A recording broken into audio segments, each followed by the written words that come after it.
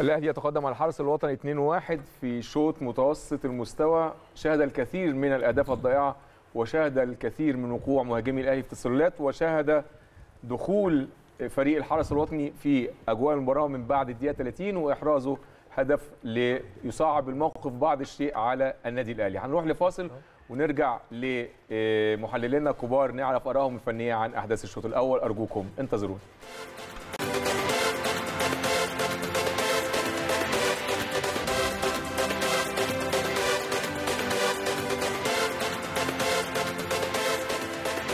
بنرحب بيكم مرة ثانية أعزائي المشاهدين. كابتن علاء شفنا في بداية الشوط الأول لحد الدقيقة 30 تقريبا لحد ما دخلوا اللي هم في الأجواء سيطرة واستحواذ وخلق فرص وأهداف ضايعة كتير بالجملة من النادي الأهلي.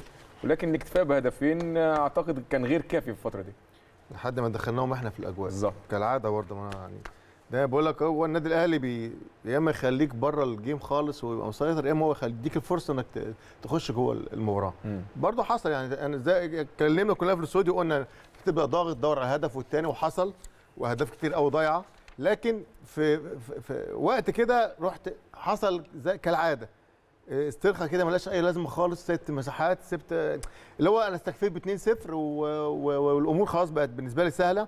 فريق بيلعب كمان آه، مسارات offside عمري شفتها في حياتي صحيح بقى لها يعني بقى لي زمن يعني. بقى لي. زمن ما شفتهاش في حياتي بس وقعنا فيها كتير قوي كتير جدا طب ما هو ده غلط منك يعني يعني هم عاملين حاجة غلط قوي وانت مش عارف تستغل.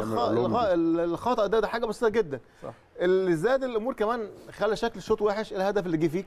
انك سايب مساحات كتير قوي ولازم العقلية تتغير لازم الشكل يتغير لازم ما- ينفعش هدف اثنين وثلاثه واربعة لكن إحنا قلنا في بداية الاستوديو دايما كلنا اجمعنا على حاجة مكسب أهداف كويسة الناس مبسوطة منها وأداء مطمئن أداء بتاع بطل لكن صح. ما سيبش ما سيبش فريق يعني ما سيبش فريق بال- بال- بالمستوى ده يدخل معاه في المباراة مظبوط اللي برضه حسابات غريبة قوي لكن في الآخر إن شاء الله هت- هتكسب إن شاء الله هتعدي لكن لازم تبقى أنت شخصيتك هي الواضحه.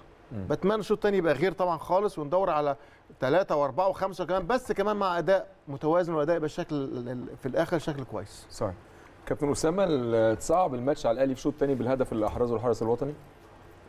آه صعب نسبيا طبعا. آه، لكن إحنا يمكن لو تفتكر كلامي يا أيمن في آخر سؤال سألتوني قبل ال- الشوط الأولاني قلت لك هيجي فرص كتير المهم نستغل ال- الفرص. امم وده واضح جدا آه، من بداية اللقاء. انت في أول ثانية هد- هدف لشريف ضايع أو في أول 30 ثانية. بعد كده الهدف في الدقيقة 9 الأولاني والدقيقة 14 الهدف الثاني ولا الدقيقة 16 يعني في ربع ساعة كنت كسبان 2-0 ومضيع أربع خمس تانيين والفرقة مخضوضة. ومش عارفة تلم نفسها صح. حتى حارس المرمى متلخبط خالص. متلخبط خالص. ده في كرة يمسكها بإيده راح شايطها بره وهي جوه ال 18 يمسكها. طلعها مش عارف corner ولا مم. ففي لخبطة وح- ورقم خمسة اللي هو عبد الناصر عمر ده اللي هو defender بيروح منضم للسنترباكات بيبقوا ثلاثة وكل الفرقة بترجع لورا بتلاقي سبعة واقفين على خط واحد. أي تمريرة في العمق هدف. يعني إحنا شفنا كم مرة راح شريف.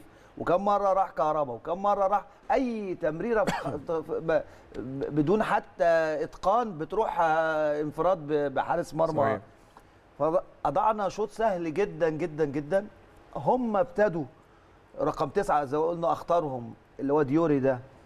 عمل واحدة مر بيها وشاطها طلعها علي لطفي كويس. بعديها عمل كرة تانية ثم كرة الهدف عملها عدى آه، النادي الأهلي فيه لخبطة في كشف مسار التسلل. هو راح ناحية اليمين اللي هي فيها ثغرة ناحية علي معلول آه، ولعبها بالعرض. رقم 11 جابها هدف. وعملوا قبلها كرة برضو آه، خبطت في رجل تقريبا بنون وراحت في ايد علي لطفي. يعني في آخر 10 دقايق انت أربكت نفسك بدون داعي مع فرقة سهل جدا تكسبها سكور سهل صح. صح. جدا. يعني لكن انت صعبت الأمور على نفسك نسبيا. أتمنى الشوط الثاني نستغل الفرص اللي بتيجي لأن كل ما الوقت هيضيق والنتيجة 2-1 الموقف هيصعب عليك رغم إن صحيح. هم فرقة سهلة آه، جدا بس هدف لا قدر الله أيوه هي فرقة سهلة. وأنت اللي وصلت لنفسك لكده فلازم آه، في بداية الشوط. تخلص الثالث يبقى خلص الماتش لكن لو فضلت 2 1 لغاية آخر خمس دقائق 10 دقائق ما تضمنش الكورة فيها إيه صحيح بس كابتن عادل آه، يعني. في خلل واضح في الناحيه الدفاعية عندنا آه عندنا آه أكيد يعني ودي فرقة ضعيفة كمان وبتعمل لك سبب في ويكون عندك خلل معاهم الخلل جاي من نص. الملعب ولا لا من الناحية الدفاعية من من بدر بنون بدايه وأيمن أشرف بيعملوا العمق وبينزلوا تحت قوي آه. ومفيش تنسيق ما بينهم وما بين علي معلول و... و... و... والناحية الثانية أكرم. أكرم توفيق في الهدف حتى لو انت شفت لو ال offside اكرم توفيق مغطي في ال offside ما طلعوش في وقت مناسب. لكن سيبك من كل الكلام ده يا كابتن أنا اهم نقطة اللي عايز اقولها لك ان دائما لازم تخاف. مم. أنا بقول لك ليه بخاف؟ لأن أنا عارف سلوكنا في الفترة دي. ان إحنا المفترض انك انت تجيب هدف واثنين وثلاثه واربعة وخمسة وتنهي ال game. تموت ال game. صحيح. ته... لكن انت بترجع الفرقة ليه؟ علشان التسرع في تفنيش الهدف وتفنيش الفرصة. يعني أكتر من ست سبع فرص تضيع منك. ما هو ما في مشكلة كبيرة. أنا عايز أقول لك إن كرة القدم ما بت يعني أنا دايما بخاف منها. ف يعني أحيانا ما بتبقاش منصفة. صحيح. فعلشان كده أنت استغل. عشان كده أنت تجيب هدف واثنين مش عايزين الحتة بتاعت إنك لما تجيب هدفين خلاص انت أنت تجيب خمسة وستة وسبعة وعشرة كمان. انت لو جبت خمس ست اهداف من اللي انت ضيعتهم جبت ثلاثة أربعة كان زمانك بقت خمسة الشوط الثاني تكسب خمسة في إيه لما تكسب ثمانيه وسبعة وعشرة وحاجات كده؟ دي دي بتدي انطباع لل- للفرق الخصم انك انت راجل قوي. مش عايزين الحتة بتاعت انك انت لما تجيب حاجة تريح انت ممكن اتلطيت جون بلغة و- وادي كرة القدم. الشوط الثاني لازم ينزلوا ويموتوا نفسهم ولازم يخلصوا المباراة بدري علشان ما ما نقعدش طول الوقت خايفين. صحيح. كابتن بلال حلول الشوط الثاني انت كسبان يعني ما عندكش أزمة في في المباراة. بس في قلق. والقلق بس من إن هم ممكن هم فرقة عشوائية مظبوط. انت بتخاف من عشوائية العشوائية. وبيلعبوا وبيلعبوا على كرة واحدة فقط لا غير يعني بيلعبوا من ناحية علي معلول وعملوها ثلاث مرات في الشوط الأول.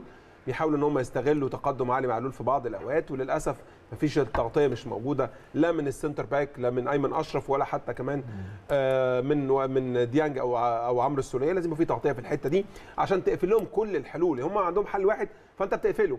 أنت ما عندكش أزمة أنت مضيع فرص كتيرة جدا جدا. في فرص يعني من على خط الجون ضاعت كهربا بدر بنون آه، محمد شريف آه، قفش يعني وليد سليمان يعني لا- لعيبتنا ضيعوا فرص كتيرة جدا جدا جدا. الحل زي ما قال كابتن أسامة وكابتن عادل في بداية ال- الاستوديو إنك تستغل الفرص اللي تجيلك عشان يبقى. الماتش سهل. أنت ما بين سهوله وصعوبة الماتش إنك تسجل الفرص اللي ب... اللي, صحيح. اللي أتيحت ليك. أنت عندك فرص كتيرة جدا جدا محققة بنسبة 100% أنت ما سجلتهاش. صحيح. عشان كده إحنا شايفين إن الماتش قلق شوية وهم كمان قدروا يوصلوا الشوط ال- نهاية الشوط الأول عشان وسجلوا هدف. عشان كده إحنا ممكن يبقى في سنة قلق صغيره مظبوط. زي ما قالوا كباتننا الكبار نتمنى حسم المباراة مبكرا الشوط الثاني. هنروح لأجواء المباراة مرة ثانية وفاصل بالنسبة لنا ونرجع لحضراتكم مرة أخرى بعد نهاية أحداث الشوط الثاني والمباراة. أرجوكم انتظرونا.